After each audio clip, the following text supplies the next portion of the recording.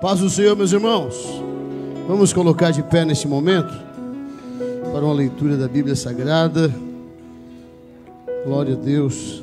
Agradeço ao Senhor por sua bondade, podemos estar juntos para esta abençoada reunião. Queria convidar você para abrir sua Bíblia no Salmos de número 39, versículo 4. Glória a Deus.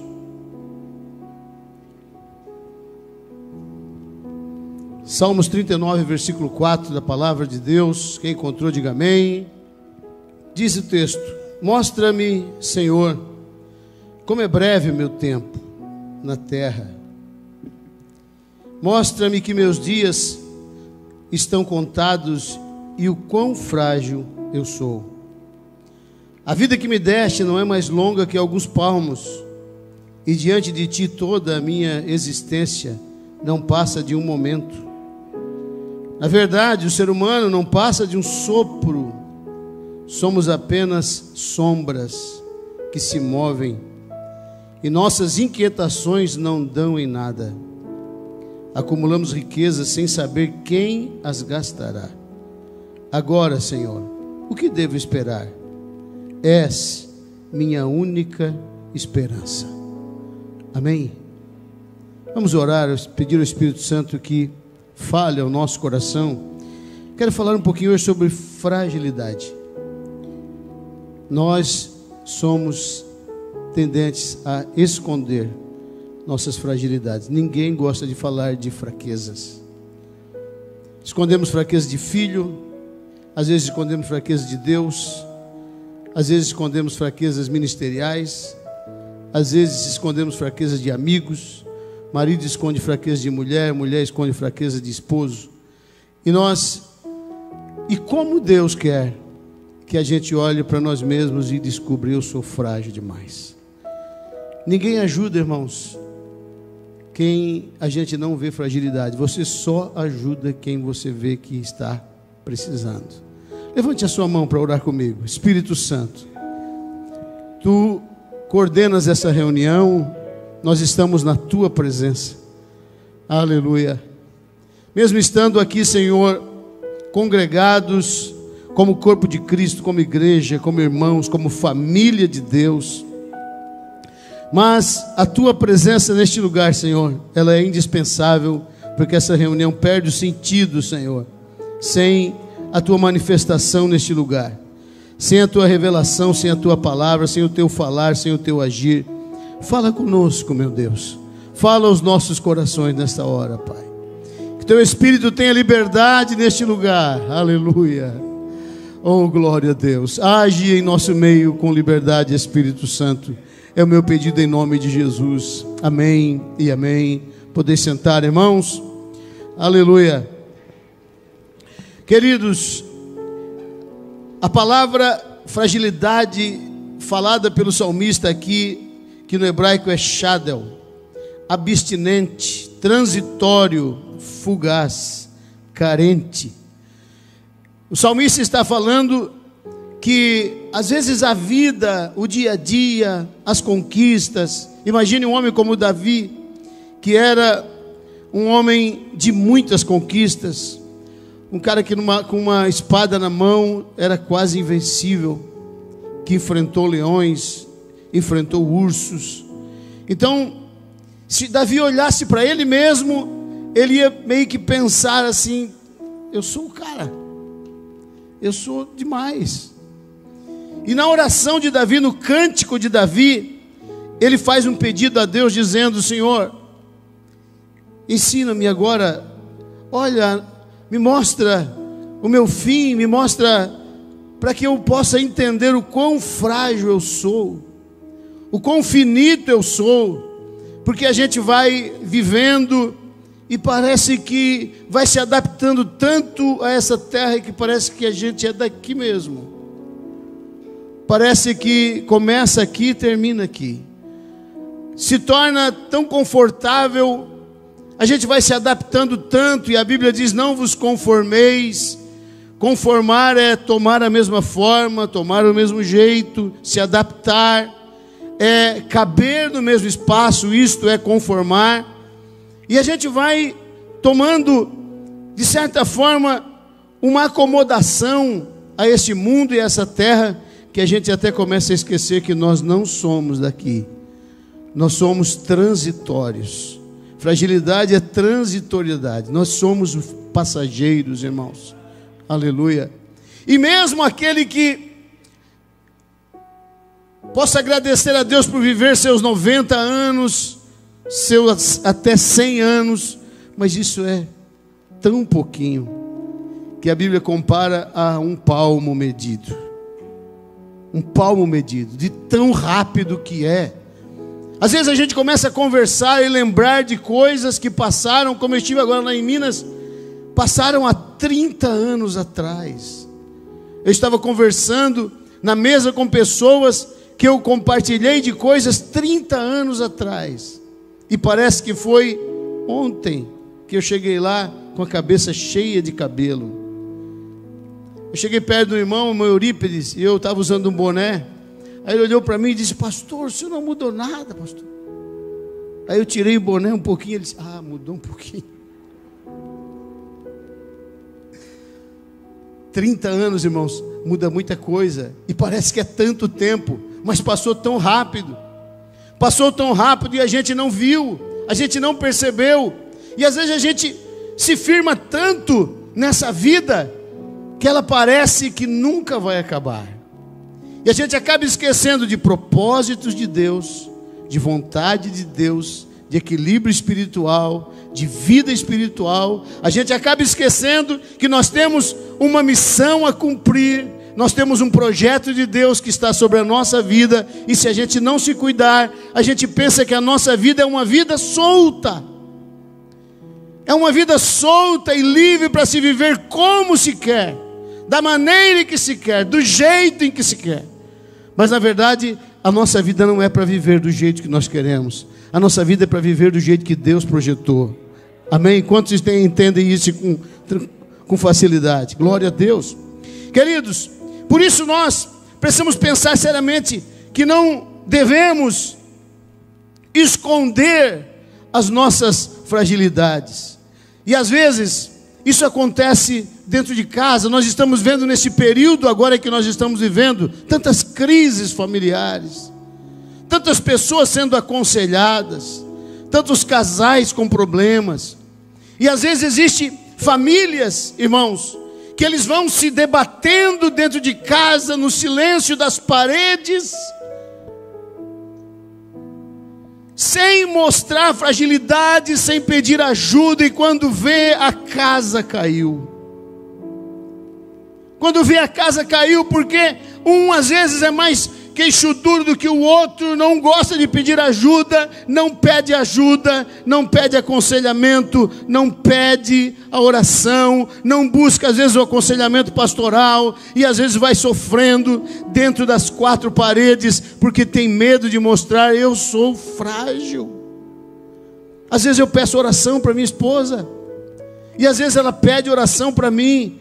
Eu não posso esconder dela que nós somos seres humanos com problemas e dificuldades e com fraquezas.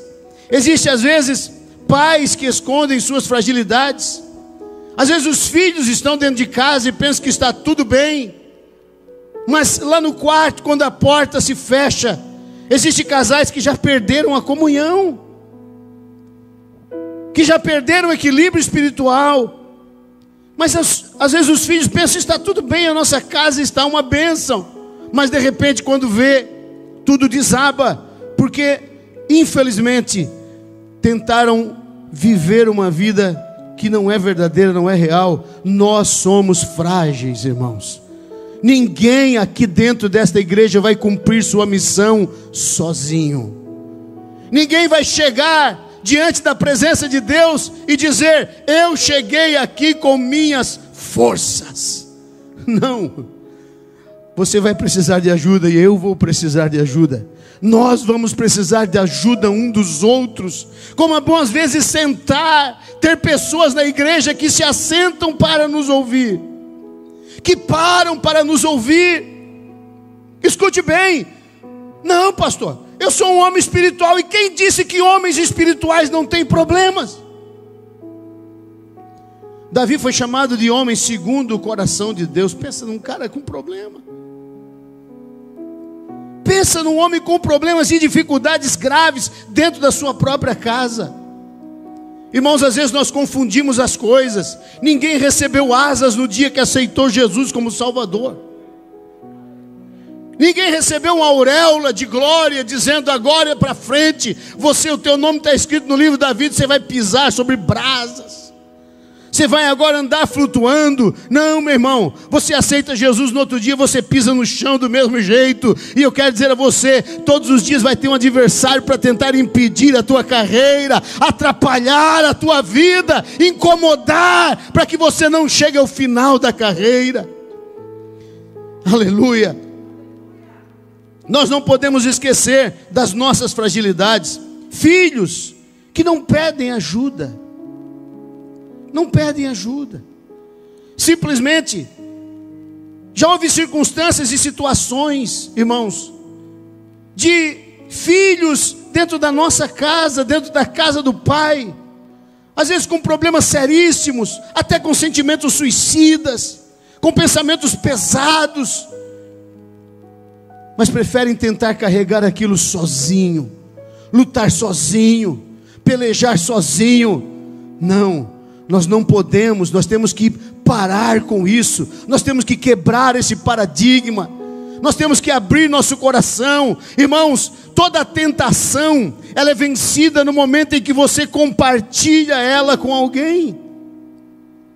Enquanto a tentação está só dentro da cabeça minha, realmente ela é muito perigosa. O dia que eu compartilho isso com alguém, ela passa a ser bem mais fácil de ser vencida. Todas as dificuldades nós sabemos hoje de quantos adolescentes que se cortam, que se recortam. Está agora surgindo aí uma certa um certo pensamento tão dúbio, tão estranho, comportamentos diferentes, uma geração que se levanta com pensamentos diferentes, dizendo: não, isso são mudanças que aconteceram, mas muitas coisas que estão acontecendo, simplesmente, irmãos, é rebeldia de uma geração. São pessoas que não estão pedindo ajuda espiritual, não estão pedindo ajuda, ore por mim, pai, ora por mim, mãe, eu estou com problema, estou enfrentando dificuldade famílias se unirem para dizer somos frágeis, por isso vamos levar os nossos problemas para o altar de Deus. Vamos levar os nossos problemas diante da presença do Senhor. Vamos orar juntos. Mostrar fragilidade não é fraqueza, irmãos. Mostrar fragilidade é vitória para a nossa vida. Nós, nós entendemos que só oferecemos ajuda para pessoas que demonstram fragilidade. Vemos pessoas sendo oprimidas por suas consciências, por suas dificuldades.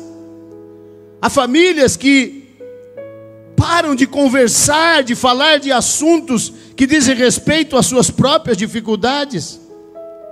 Às vezes lá em casa a gente conversa, e às vezes eu estou meio chato, fico chato às vezes. E às vezes a minha esposa diz que eu estou chato, e às vezes a minha filha diz que eu estou chato. E às vezes eu digo que ela está chata. Isso não muda quem eu sou, irmão. Eu não sou perfeito, eu sou o homem, ser humano que tem falhas, irmão. E tem dificuldades, sérias dificuldades. Agora não adianta eu chegar aqui diante das pessoas e querer revelar o Superman. Até o Superman tem a dificuldade da kriptonita. E sabe que às vezes revelar muita força demais, às vezes estamos sendo esmagados porque estamos debaixo da influência da kriptonita e ninguém chega para ajudar, porque você revela tanto sua força, seu ânimo. Você revela tanto que você é o cara, que você é espiritual, que você é um homem de oração, que você não tem problema, não tem dificuldade, que daqui a pouco você está sendo esmagado por problemas e ninguém se aproxima para ajudar. É bom alguém saber que você é fraco, porque quando ele te vê gemendo, ele corre para perto e diz: Ei, o que, que houve? O que está acontecendo? Rapaz, me ajuda aí que o negócio está feio, o peso está demais Eu não estou aguentando a pressão. Oh, aleluia. Bendito seja o nome do Senhor. Queridos, na casa de, de Davi, interessante que algumas, existem algumas relações de pessoas que, que não, não costumavam compartilhar. Tem pessoas que não compartilham nem coisas boas e nem coisas ruins. Nós temos o exemplo de Davi, matou o leão e seu pai não ficou sabendo, nem seus irmãos. Tanto que foi uma surpresa. Quando ele pegou a fundo e foi lutar com o gigante, seus irmãos ficaram: Que, que é isso? Esse rapaz é um cuidador de poucas ovelhas, não, não tem força para nada. Davi, ele era um homem que guardava seus segredos não compartilhava com pai, não compartilhava com mãe. É bom às vezes, a gente se alegra em poder compartilhar as vitórias dos nossos filhos. Não seja uma surpresa para sua esposa, não seja uma surpresa para o seu marido, não seja uma surpresa para os seus pais. Compartilhe com eles suas vitórias, mas também não esconda as suas dificuldades. Não esconda seus problemas, como aconteceu na casa de Davi houve problemas seríssimos entre irmãos, houve ira, desejo de morte, sentimentos de vingança, tudo dentro da mesma casa. Mas o Davi não quis sentar para conversar, ele preferiu deixar o tempo resolver. Irmãos, o tempo é o pior agente para resolver problemas. O tempo não tem esta capacidade de resolver problemas. O tempo, ele cobre os problemas com a sua poeira. O tempo, ele cobre os problemas e vai cobrindo, mas chega uma hora que o vento da verdade sopra destapa aqueles problemas mal resolvidos e às vezes acabam detonando com relacionamentos, com amizades, com casamentos. Por que razão? Tem pessoas que ao invés de sentar para resolver, ele prefere esperar daqui uma semana e daqui um mês. Não, não espere. Resolva seus problemas. Mesa não é só para tomar café. Mesa não é só para comer, não é só para almoçar, às vezes é para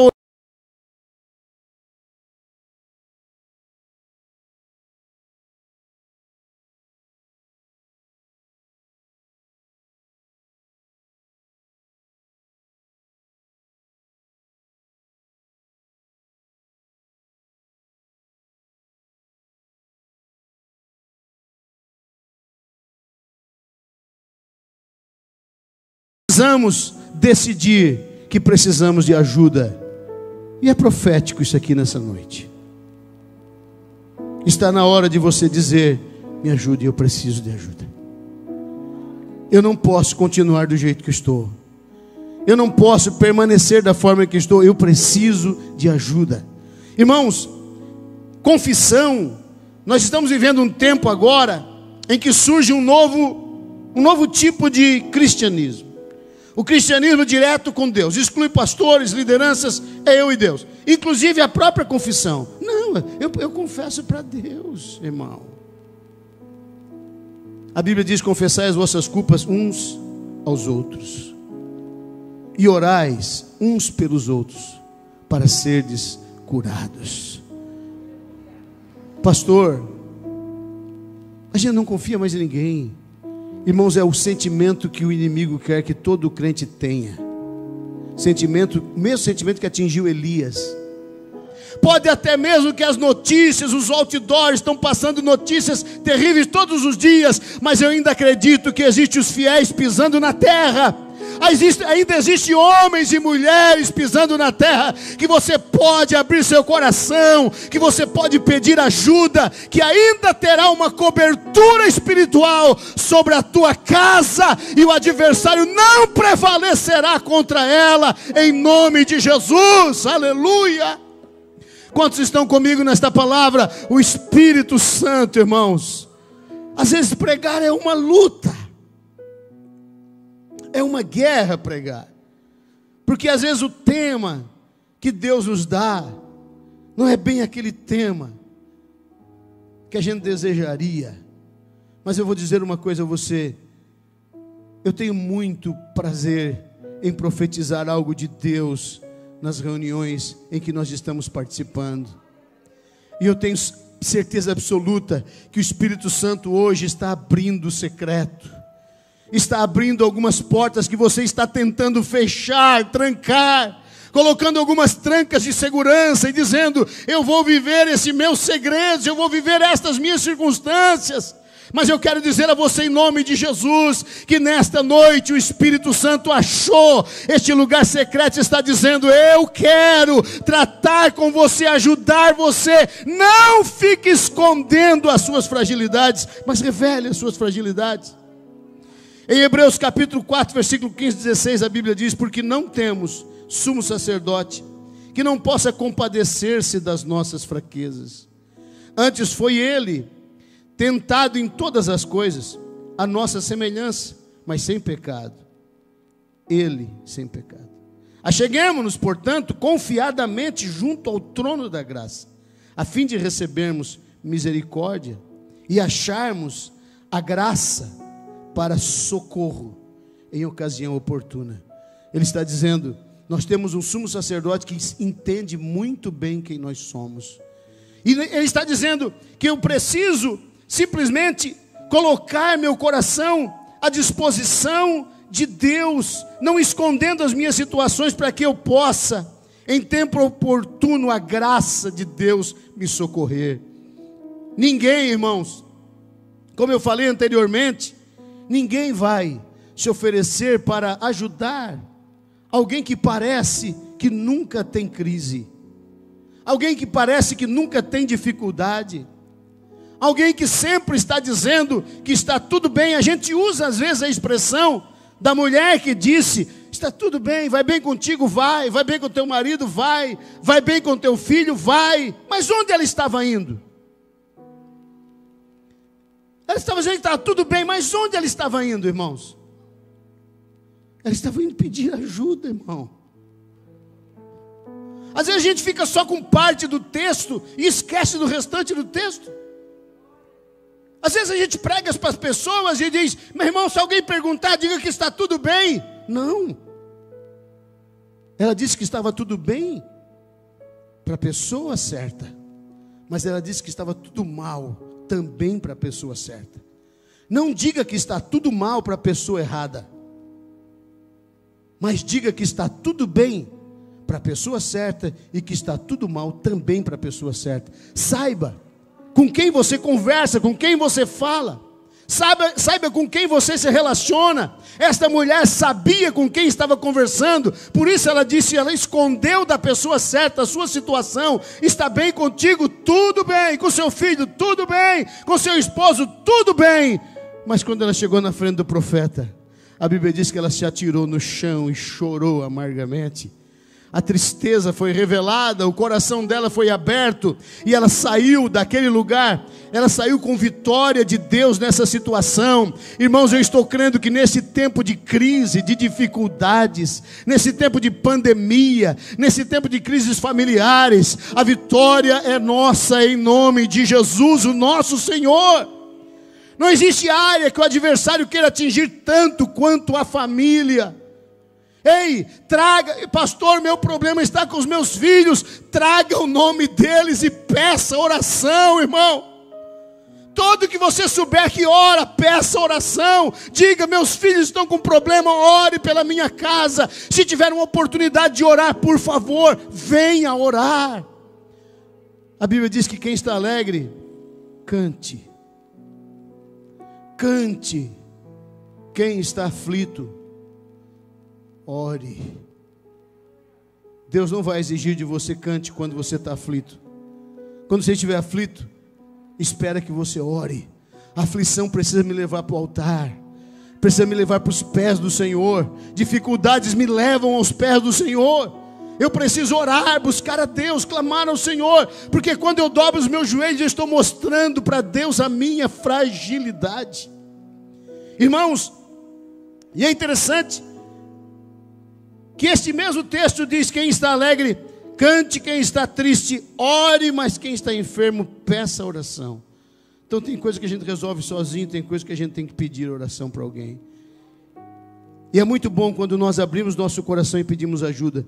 Não podemos sozinhos. O Filho de Deus nos dá um grande exemplo. Ele recebeu ajuda ao conduzir a cruz. Eu falei hoje de manhã aqui. A Bíblia Sagrada diz que a cruz é individual. Tome cada um a sua cruz. Mas a Bíblia não diz que essa cruz que eu peguei sozinho, eu preciso levar sozinho a vida toda.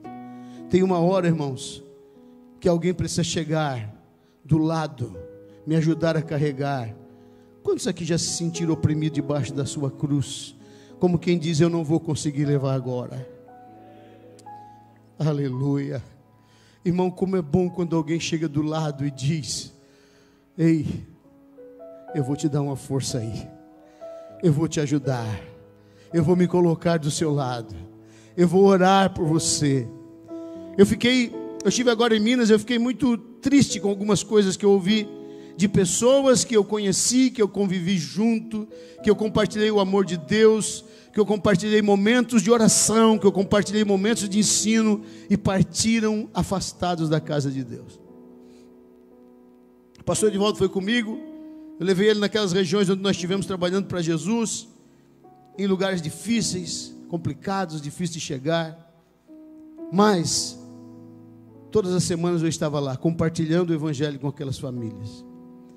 Irmãos, tem pessoas que não vão conseguir chegar no final sozinho. E eu preciso estender as mãos para ajudar. Eu preciso colocar o meu ombro debaixo da cruz deles e dizer: Você não está sozinho, você tem alguém para te ajudar. Não fique sendo esmagado debaixo da sua cruz, sem gritar, sem dizer eu preciso de ajuda. O próprio Jesus, o Filho de Deus, ele debaixo da sua cruz, ele precisou da ajuda de Sirineu, que levou a sua cruz, que ajudou a levar a sua cruz, desde o momento da condenação até o Calvário, alguém o ajudou a carregar. Eu quero dizer para você, em nome do Senhor, pastor, a minha cruz eu dou conta de levar, não. Se ela pesar, pelo amor de Deus, dê um grito e peça ajuda, porque alguém vai chegar perto para que você não desista da sua chamada, da sua carreira espiritual. Aleluia. O Filho de Deus disse na cruz: Eu tenho sede. O próprio Senhor que disse: Eu sou a água da vida. Ele que disse: Quem beber da água que eu lhe der nunca terá sede. Ele disse: Eu tenho sede. E ele foi servido de água na cruz do Calvário. Jesus mostrou sua fragilidade. Paulo disse que Jesus foi crucificado em fraqueza. A crucificação é fraqueza, completa fraqueza porque jamais alguém que tenha força se entrega para a crucificação. Ele foi crucificado em fraqueza, ele mostrou toda a sua fragilidade na cruz, sua entrega na cruz. Porém, irmãos, ele ressuscita com poder. Eu quero dizer você: não esconda as suas fragilidades. Nós vivemos um tempo demonstrando que somos, às vezes, super líderes, super pastores. E esses super pastores nunca existiram. Super líderes nunca existiram. Deus não trata com super-homens. Deus trata com homens simples. Por isso que Tiago fala de Elias, dizendo: Este homem era homem sujeito às mesmas paixões que nós. Porém, ele orou e Deus fez parar de chover. Ele orou e Deus fez chover novamente. E não é porque você é um homem comum como os outros que você não possa mover o céu. Ei, Deus usa homens comuns para mover coisas extraordinárias na terra. Por isso que o texto ele me enche de alegria, porque traz Elias para o mesmo patamar que eu. Mas talvez Elias nunca imaginou, nunca imaginou o homem do rio Querite, o homem que fez parar de chover, o homem que trouxe o trigo para a casa da viúva de Serepta, o homem que pediu fogo do céu e o fogo desceu. Um homem que toda a vida que orava ao Senhor, respondia a oração dele, agora está em depressão. E parece que ele não quis revelar que estava com problema.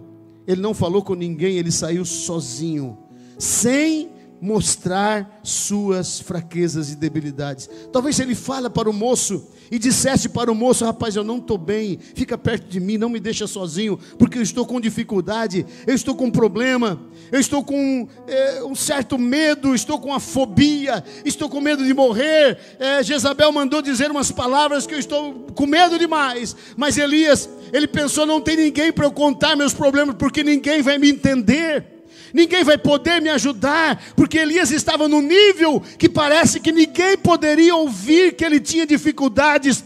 Não tem ninguém aqui que chegou no nível que não possa ser ouvido por outro. Ei, se você abrir seu coração, você vai ver que o Espírito Santo tem alguém que vai entender você, vai te ajudar e você vai parar de sofrer por causa de dificuldades que às vezes são fáceis de ser resolvidas.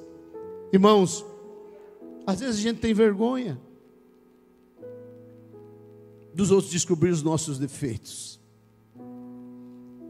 Às vezes a gente tem vergonha das pessoas verem que nós não somos aquele super crente que a gente parecia ser. Mas isso só mostra que o Calvário foi necessário. Todas as vezes que os teus defeitos aparecem, isso revela que o Calvário era necessário que o sangue era necessário, que Jesus era necessário, porque se nós fôssemos perfeitos, a cruz não era necessária. Então não tente esconder que você é alguém que tem defeitos. Jesus, quando foi para a cruz, ele sabia que ia lidar com uma igreja defeituosa. Porém, tem uma coisa: procure em Deus uma vida aperfeiçoada, santificada, guardada, protegida. Não espere se estragar tudo para depois você abrir seu coração e dizer: Eu preciso de ajuda. Não podemos sozinhos, não iremos sozinhos, não existe como chegarmos no final sozinho. Existem três sinais de dependências em Lucas 11, versículo 9. Eu vou terminar. Por isso vos digo: pedi, dar-se-vos-á, buscai e achareis, batei e abrir-se-vos-á. Jesus anteriormente estava falando do amigo importuno, que pela necessidade insiste até poder ser atendido, porque estava sofrendo com uma dificuldade, só tinha um amigo para recorrer. Interessante que o texto diz: buscai e achareis. Revelamos nossa fragilidade ao buscar. Só buscamos quando precisamos. Quando você vê alguém buscando a Deus, você está vendo que há uma necessidade. Nós revelamos nossa fragilidade quando decidimos buscar, irmãos, buscar ao Senhor. Buscai ao Senhor enquanto se pode achar.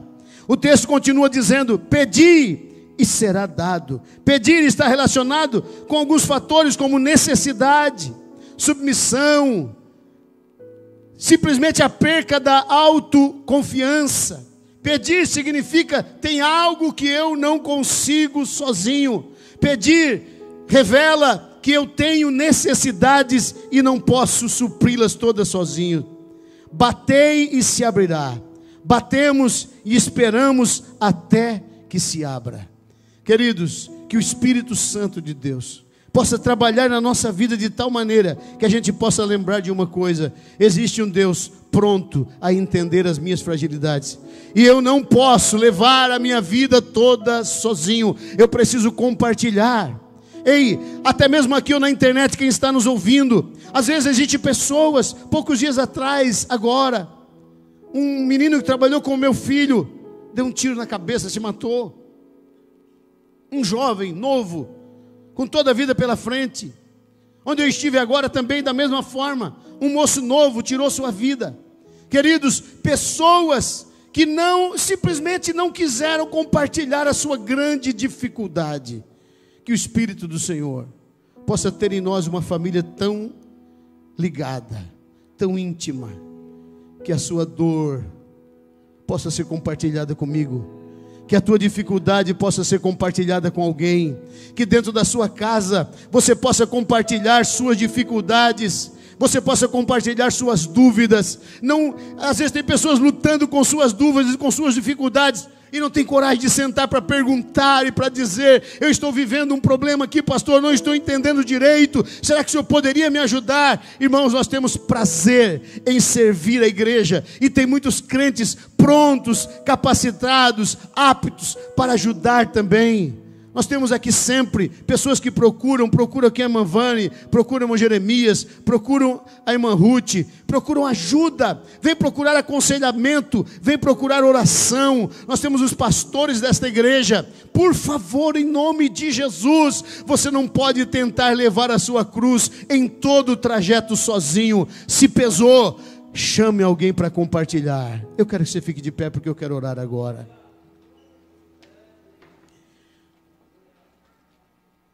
Que o Senhor possa nos fazer entender o quão frágil nós somos. E se tem alguém aqui nessa noite, nessa reunião, aleluia, que esta palavra veio de encontro ao seu coração, não espere passar a semana, procure em nome de Jesus ajuda, procure ajuda, procure auxílio procure auxílio espiritual, procure ajuda espiritual. Estamos à disposição para servir esta igreja, lá dentro da sua casa, que seja um ambiente onde os corações se revelem, que dentro da sua casa seja um ambiente onde você possa dizer: Estou errado, me perdoa, me perdoa minha esposa, me perdoa meu esposo, me perdoa meu filho, me perdoa pai, me perdoa mãe. Mostre a sua fragilidade dentro da sua casa porque você vai ser ajudado todas as vezes que você precisar. Levante as suas mãos para orar comigo neste momento, irmão, em nome de Jesus. Aleluia. O Espírito do Senhor está sobre nós nessa noite. Oh, glória. Não é melhor correr para longe, é melhor correr para perto. Não é melhor se esconder, é melhor dizer: tem algo errado aqui comigo. Aleluia. Oh, Paizinho querido, nós oramos nesta hora por teus filhos, nós vamos participar da ceia do Senhor. Pai, somos seres humanos, Senhor, seres humanos cheios de dificuldades, aleluia. Mesmo que às vezes, Senhor, seja tão difícil reconhecermos que somos frágeis, como disse o salmista mas realmente somos frágeis, Deus. Nossa vida é tão curta que não podemos deixar certas coisas para consertar em um futuro que não me pertence. Senhor, eu não posso deixar certas coisas para que possam ser consertadas depois, resolvidas depois.